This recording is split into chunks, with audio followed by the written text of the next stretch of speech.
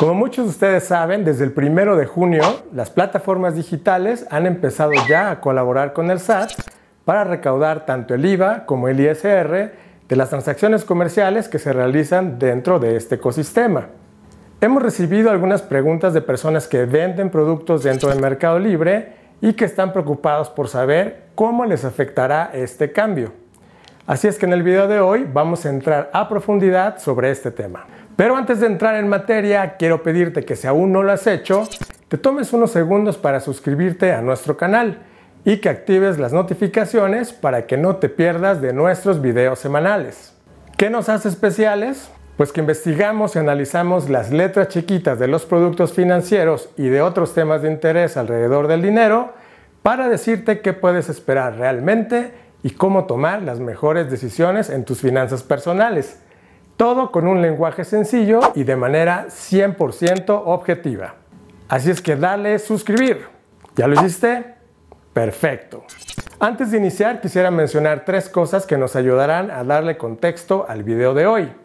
La primera de ellas es que el cobro de impuestos en Mercado Libre se debe a la puesta en marcha de una ley que busca recaudar el IVA y el ISR de las transacciones de compra digitales que cada vez representan un mayor volumen en nuestro país y que en muchos de los casos no se estaban captando. Si quieres saber un poco más a detalle sobre esta medida, puedes ver el video que hicimos hace unas semanas sobre este tema y que puedes encontrar aquí arriba y en la descripción de este video.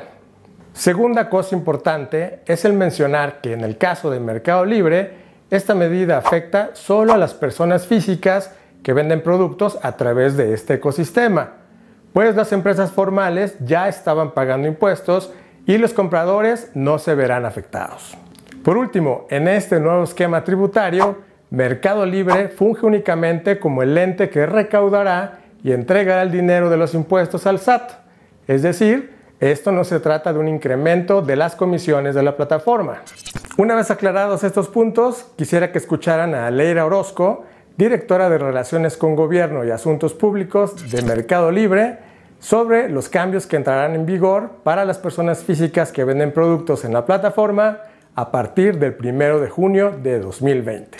Bueno, Joel, te platico. A partir del 1 de junio, las personas que transaccionan en la plataforma que venden sus productos, que son personas físicas, tendrán que proporcionarle a la plataforma su información fiscal, como su RFC, su CURP, eh, nombre completo, teléfono y eh, los datos de la cuenta bancaria donde le hacemos nosotros los pagos. Esto con la finalidad de que la plataforma, a partir del primero de junio, va a empezar a retenerle los impuestos derivados de eh, las transacciones que realizan en la plataforma. En este caso, cuando nos proporcionen la información, la retención será del 8% del IVA y eh, un porcentaje del ISR que puede ir desde el 0.4% hasta el 5.4% dependiendo de su ingreso mensual. Entonces, en este sentido, para la persona física que anteriormente ya tenía la obligación de hacer esta declaración de impuestos ante, la, ante el SAT, Hoy lo único que cambia es que la plataforma va a retener una cierta parte de, este, de estos impuestos que ellos debían declarar como es una obligación de todos nosotros como contribuyentes. Destaco dos cosas de lo que dice Alera Orozco. La primera es que las personas físicas que venden productos en Mercado Libre de manera regular ya tenían la obligación de enterar el IVA y el ISR al SAT. Sin embargo, esta obligación recaía 100% en el vendedor y es muy probable que no todos estaban cumpliéndola. Y lo segundo es que Mercado Libre ahora actuará como agente recaudador del SAT para cobrar este impuesto antes de depositar el dinero de las ventas en la cuenta del vendedor. Ojo que si tú eres un vendedor y no has llenado tus datos fiscales en la plataforma, Mercado Libre te retendrá más de impuestos. Por cierto, si como yo ustedes también se están preguntando por qué en condiciones normales Mercado Libre retendrá solo el 8% del IVA y no el 16%, esta es la razón. Aquí hay dos cuestiones importantes. Primero, porque eh, digamos que la medida está enfocada en evitar o disminuir la evasión fiscal. Entonces, de cierta forma, eh, no, nos hacen retener a, la plataforma todo, porque de todas maneras el contribuyente probablemente tenga ingresos de otro lado. Entonces, se le va a dar la oportunidad de que a lo mejor si él a través de la plataforma, eh, no sé, eh, ganó menos de, dos, de 300 mil pesos, pues esta declaración que hizo a través de nosotros se considere como la declaración final. Entonces, es un poco para dar este espacio en cuanto a su contabilidad de lo que va a poder, a lo mejor de lo que tiene que declarar por fuera y lo que tiene que declarar por dentro. Bueno, por dentro me refiero dentro de la plataforma y en este sentido se compensa. Es un ejercicio que hizo el SAT como para compensar esto. Por otro lado, en la ley se establecen rangos de cobro de impuestos sobre la renta o ISR que se incrementan según los montos de ventas mensuales. Sin embargo, en la página de Mercado Libre se establecen estos rangos, pero por ventas diarias. ¿Cuál es la razón? Se hizo un esquema muy similar al que tienen ya las plataformas, por ejemplo, de transporte, que a pesar de que hay una retención mensual, hay cálculos diarios, que en realidad la tabla de los cálculos diarios no cambia. O sea, es únicamente se hizo la división entre los días, pero digamos va igual del punto 4 al 5.4 de un monto de hasta así 49.34 pesos hasta 3.289.47. Que digamos que lo que hizo el SAT fue hacer la división en esta regla que publicó ahora el 4 de mayo. Después de escuchar esta información, nos parece congruente que el gobierno busque homologar el cobro de impuestos a las personas que viven de vender productos en este tipo de plataformas. Pero ¿qué pasa con los usuarios que quieren poner a la venta las cosas que tienen por ahí usadas y que no utilizan, o aquellos que usan Mercado Libre para vender cosas nuevas de manera esporádica? Hay dos situaciones bien, importantes porque mencionas dos cosas clave.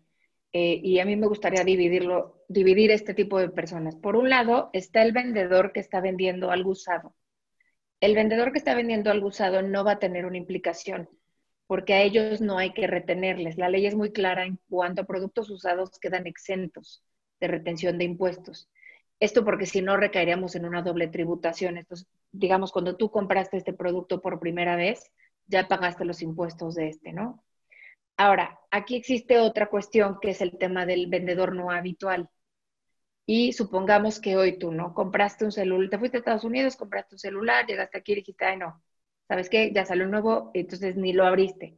Y es un producto nuevo, pero lo quieres vender en la plataforma pero no eres un vendedor habitual, ahí sí te vas a tener que dar de, dar de alta como persona física con actividad empresarial. Como verán en este segundo caso, esto puede ser una barrera para el uso de la plataforma y de acuerdo a Mercado Libre, buscarán en una segunda ronda de negociaciones con el SAT a abogar por este tipo de usuarios que no se dedican a esto, pero que por alguna razón quieren vender un artículo nuevo. Ahora, mucho se ha escuchado sobre que la entrada en vigor de esta ley tendrá dos impactos fuertes para plataformas como Mercado Libre. El primero tiene que ver con el incremento de precios en la plataforma, pues al descontarse los impuestos, los vendedores podrán tener la tentación de incrementar sus precios y trasladar el impacto a los compradores.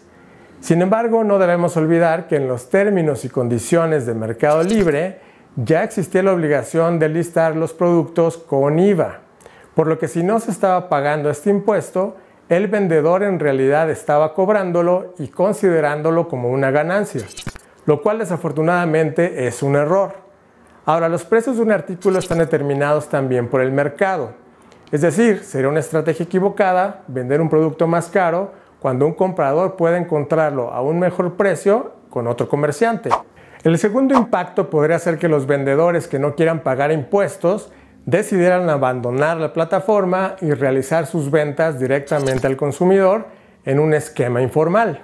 Esto sin duda es probable, sin embargo, es incuestionable que el comercio electrónico está despuntando de manera vertiginosa en nuestro país y que de hecho la pandemia lo ha acelerado aún más, pues tanto consumidores que antes le temían como otros vendedores que solo ofrecían sus productos en sus tiendas físicas se están subiendo a esta ola por las restricciones sanitarias. Según Mercado Libre, tan solo durante abril hubo más de 130% de aumento en el número de pymes que se subieron a la plataforma.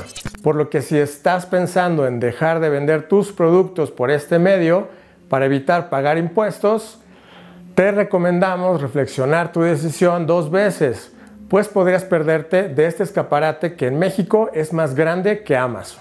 Pues hasta aquí nuestro video de hoy. Esperamos que esta información les haya sido útil y queremos agradecer a Mercado Libre por su tiempo para resolver las dudas que ustedes nos han planteado. Si ustedes venden en esta plataforma, nos gustaría escuchar sus comentarios y opiniones sobre esta ley y si están pensando seguir en este ecosistema o cambiar su estrategia. Recuerden que ustedes son parte importante de esta comunidad y que sus comentarios son vitales para que todos podamos tomar mejores decisiones. Pues me despido por hoy. Recuerden darnos sugerencias de otros temas que quieren que tratemos en los futuros videos y como siempre les mando un abrazo fuerte. Hasta pronto.